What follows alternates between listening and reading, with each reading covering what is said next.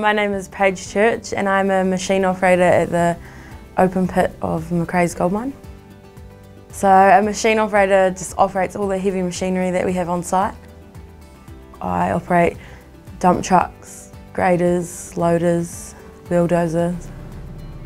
We just have a big whiteboard that has all the gear written on it and you just get assigned to that piece of gear for the day.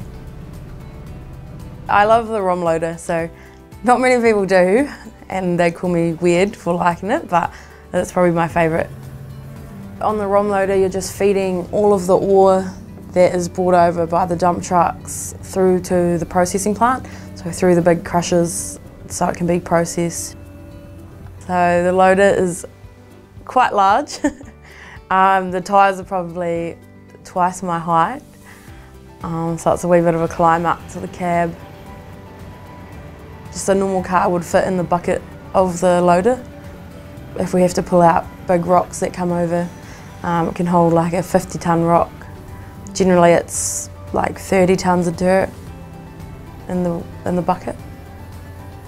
Probably the grader would be my least, just because it's so repetitive of you're just doing the same, grading the same areas and it's good.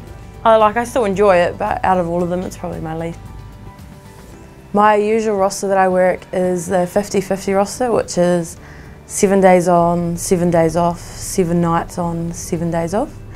But at the moment I'm doing an alternative roster uh, where I work day shift only Monday to Thursday and finish at 4.30 each day and that's so I can go and play rugby in the weekends.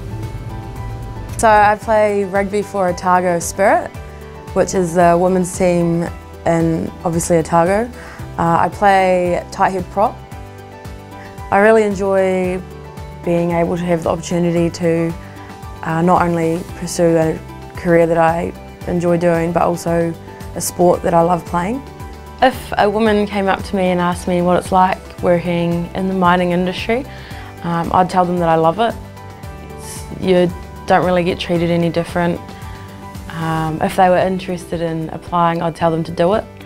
The worst that's going to happen is they realise it's not for them, but the best is they'll find out that they might love it and want to carry on and go further.